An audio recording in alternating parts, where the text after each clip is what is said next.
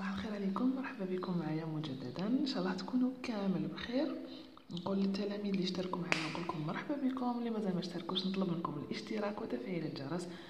هكذا باش تشجعوني وتدعموني أني نواصل معكم نكملوا في سلسلة التمارين تاع النشر والتحليل واقتراح المعادلة اقتراح المتراجحة وبإذن الله نكملوا كامل التمارين المتعلقة بالرابعة متوسط عندنا التمرين الثاني لتكون العبارة أ حيث أ هاي واش تساوي؟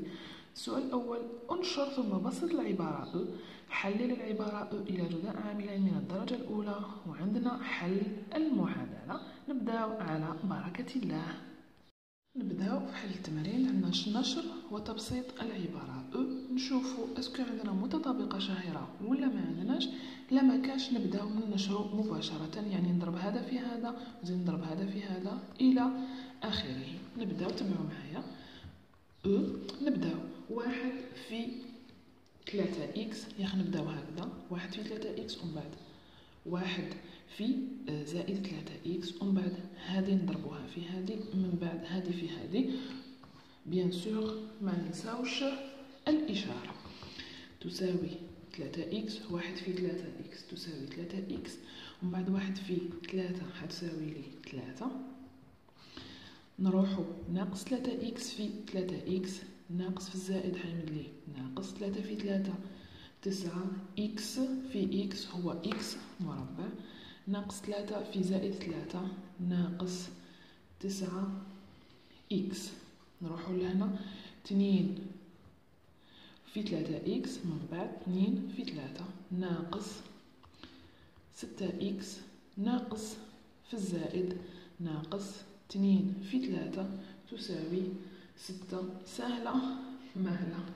هذه كي تكتبوها عليها صفر خمسة. نحسبو عندي إكس مربع. حتقعد وحدها. يعني ما كاش مع من نحسبها. نشطب هكذا خفيف باش نقدر نحسب.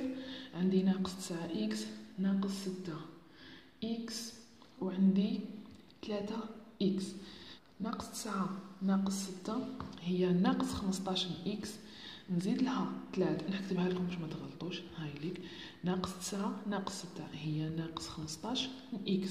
يعني جمعتهم bien sûr ناخد إشارة السالبة ونزيدو ثلاثة إكس قدامهم.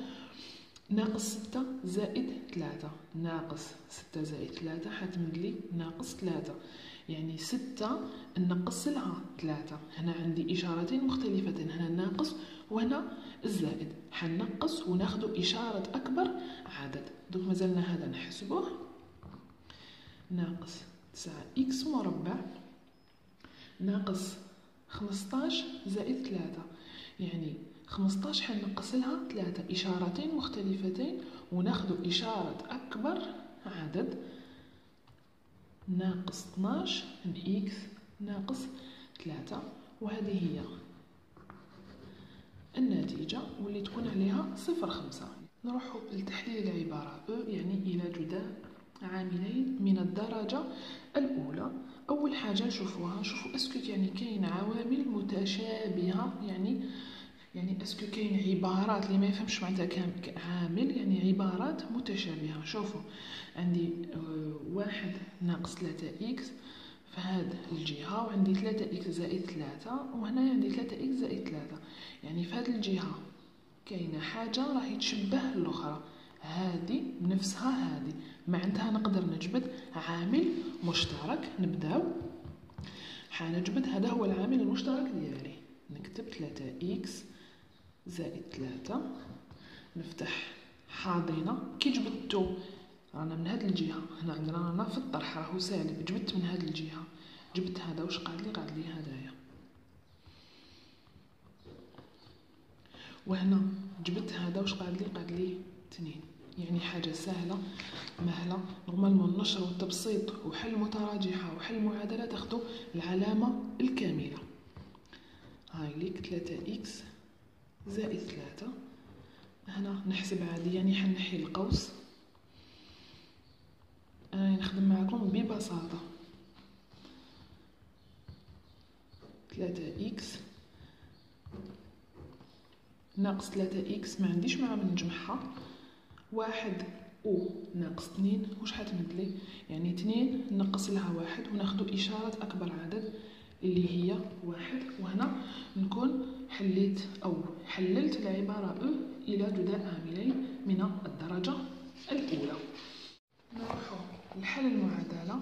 برك يعني لا يعني باش تشوفوا المعادله اللي مدولنا نحلوها سي بيان النتيجة اللي, در... اللي لقيناها في تحليل العبارة. هنا تعرفوا باللي يعني الحل ديالكم راهو صحيح. هذه حنحلوها حل المعادلة عندنا هذه المعادلة الصفرية حيكون الحل هذا يساوي الصفر أو هذا يساوي إلى الصفر. نكتبو إما نقدروا نديروها هكذا. ثلاثة إكس زائد ثلاثة تساوي الصفر. ونبداو نحلو ونقدروا تنكتبو هكذا. أو ناقص واحد ناقص ثلاثة إكس يساوي صفر. نبداو نحلو بالوحدة. عندي ثلاثة إكس زائد ثلاثة تساوي الصفر. قلنا المجاهيل نخلوهم من هذه الجهة والمعالم ندوهم الجهة الأخرى. ثلاثة إكس ثلاثة حنخرجها. bien sûr هنا عندي زائد حتولي لي ناقص هنا عندي ضرب كيف حنجبد المجهول؟ هذا قسم هذا ويمد لي ناقص ثلاثة. على ثلاثة وإكس يساوي ناقص واحد. ثلاثة على ثلاثة تساوي واحد. نروحو للجهة الثانية.